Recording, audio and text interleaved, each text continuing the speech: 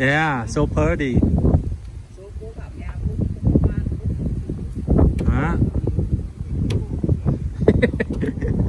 Thế hồi xuyến con đập được con muỗi hả? con nhẹ Con nhẹ hả? Vô có thả.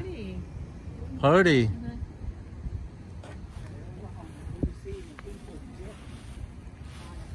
Hoa này là hoa gì đây? Hoa gì đây bác sĩ? Cái này nữa, hoa hồng luôn hả? loại Ờ, hồng hồng nhỏ Pretty. Pretty. Pretty. nó Yeah.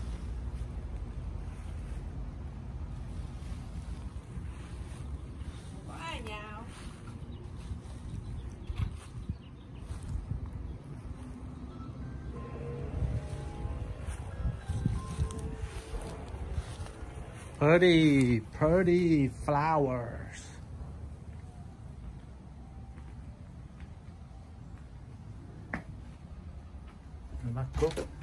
Đó, có anh Thịnh nè. Đâu có ngồi coi youtube. Dữ lắm.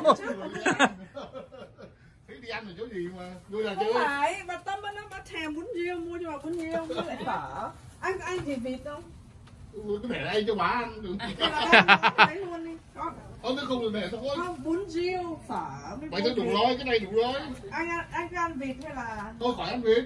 ăn phở? Có hoa dâm bột nữa nè. thì ba món luôn. Và hoa dâm bột đó tí đi đâu đi. Thôi đi vô không có kẹt xe. Đi 5 phút đi. Có hoa dâm bột nữa nè. Đó. Rồi đi. Mua 5 phút rồi. Hoa dâm bột này đó. Hoa dâm bột đẹp không? Sự quay quay phim là là, là được à? Là lấy ra được. Là vô. Nhiều quá phải còn quay phim đẹp quá. rồi đi À. mới tới đi tuốt từ xa quét mà kẹt xe ác Mà chờ chờ chị Xuyến rồi hả?